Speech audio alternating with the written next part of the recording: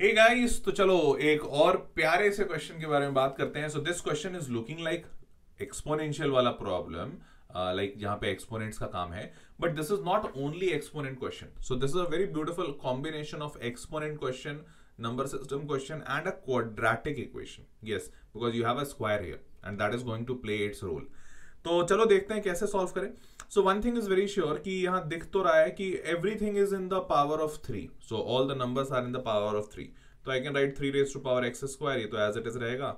Denominator में you have a so you can write three raise to power two and whole raise to power x equals to, this is 81 so that's 3 raised to power 4 okay?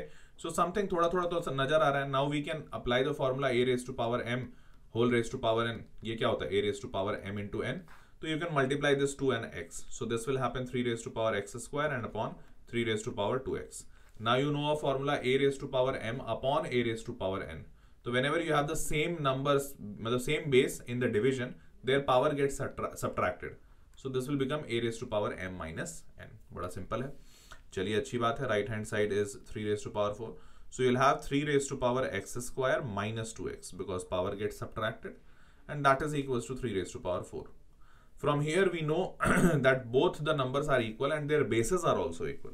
So whenever two numbers though uh, uh, who are equal, two numbers which are equal, they have equal bases. This means their power must also be equal. So m and n must be equal. So m and n must be equal. This means from here you'll have x square minus 2x is equals to 4. Okay. So x square minus 2x equals to 4. This means 4 has to be brought this side. You'll have x square minus 2x minus 4 equals to 0. Now, from here, how will you get the answer? So again, uh, here, instead of finding the middle term splitting, let's do the quadratic formula. For those who don't know the quadratic formula, so quadratic formula is that you can find the roots using the formula x equals to minus b plus minus root under b square minus 4ac upon 2a. Now what is b, what is a, what is c? So if you have a quadratic equation of this format, ax square plus bx plus c, so and equals to 0.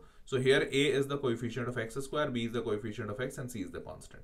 So here a value is 1, b value is minus 2 and c value is minus 4. So apply that x is equals to minus b is minus 2 plus minus root under 4 uh, root under b square. b square is minus 2 whole square minus 4. a is nothing but 1 and c is nothing but minus 4. So we have got this entire thing and whole divided by 2a whole divided by 2 and what is a? What is a is nothing but 1 cool? Now so minus and minus we have got a 2 minus and minus we have got a 2 plus minus okay so it will be plus minus root over. Root over minus 2 square will be 4 and you you have a minus here and you have a minus here. So that will be plus.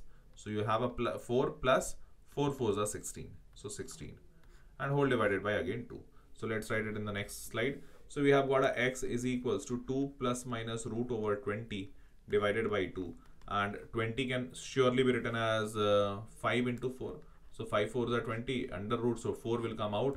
It will become 2 root 5 so you have 2 plus minus 2 root 5 for 20 and whole divided by 2 now 2 will cancel both the 2's in the numerator this and this. So you'll have 1 plus minus root 5 1 plus minus root 5 so finally you have got two values of x that is 1 plus root 5 and x is equals to 1 minus root 5. Now you have to just check although you won't be able to get the exact value by putting the value of x and you won't be able to check exactly that are you getting that answer or not but just check that this is a positive value and this is a negative value.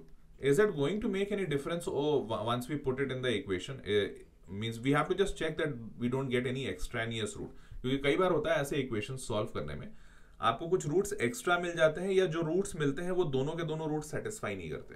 तो just एक बार आप lump सम देख लो, जैसे x square यहाँ तो कोई फ़र्क पड़ेगा नहीं। यहाँ पे अगर नेगेटिव रूट आता है तो this will go to the numerator इससे भी कोई फ़र्क नहीं पड़ेगा। So both are like fine तो नो इश्यूज़ है here we'll have two values, x equals to 1 plus root 5 and x equals to 1 minus root 5 and hence that's the answer. बल्ले बल्ले। मज़ा आया। कितना प्यारा क्वेश्चन था ना। So I hope you enjoyed this problem do let me know in the comment box and do like the video अगर मजा आया है तो और नेक्स्ट क्वेश्चन पे चलते हैं next question will be your homework you have to write the answer of that question also in the comment box here we go So guys, I hope you loved and enjoyed the problem. And if that is the case, so I would like to give you one more problem as a challenge which you should solve and send me the answers. What do you say? So if, if you are ready, here is the problem. In this problem, what you have to do, you have to solve this question and write the answers in the comment box.